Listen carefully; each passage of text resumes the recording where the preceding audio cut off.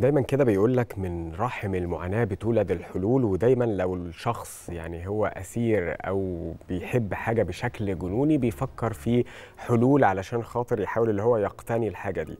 في شاب في شرق آسيا بيحب كرة السلة بطريقة جنونية لدرجة إن هو عمل آه، ملعب كرة من أكواز الذرة ويستخدم الأكواز دي في رسم خطوط الملعب بشكل ملفت ملعب كرة سلة آه، علشان خاطر يقدر اللي هو يمارس فيها آه، لعبة آه، أو اللعبة المفضلة ليه. تعالوا نتابع تفاصيل في التقرير ده.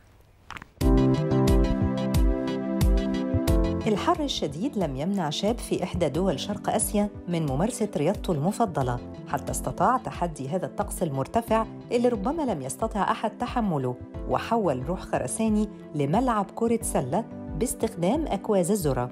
الشاب ظهر في فيديو وهو بيقوم بتصوير نفسه أثناء تسديده للكرة واللي بدت أكثر صعوبة من كرة السلة التقليدية بسبب ارتفاع ال basket. من هنا استطاع الفيديو اللي نشره الشاب أنه يغزو منصات التواصل الاجتماعي وتم تداوله على نطاق واسع وسط إعجاب وانبهار بما حققه الشاب من ابتكار استثنائي وفريد من نوعه.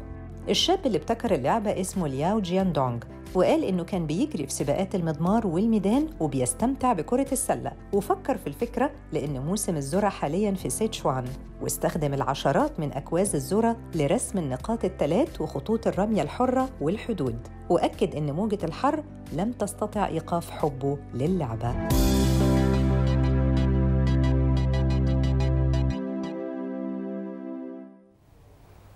من الطف الحاجات إن دايما نلاقي حلول مبتكرة لأي حد عايز يعمل أي حاجة. فلو هو حابب كرة السلة هو عمل ملعب وقدر إن هو يلعب فيه رياضته المفضلة زي ما أنت قلت. حب ما تعمل حتى تعمل ما تحب. ده حقيقي. تخيلي أنت حابة الحاجة اللي أنت عاوزاها هتوصلي لها. عمل ملعب كرة سلة بشويه اكواز ذره يعني. ذرة. عندنا بنرميه في الشارع بعد ما بنخلص أكله. ده عمل منه حاجة يعني. ده حقيقي.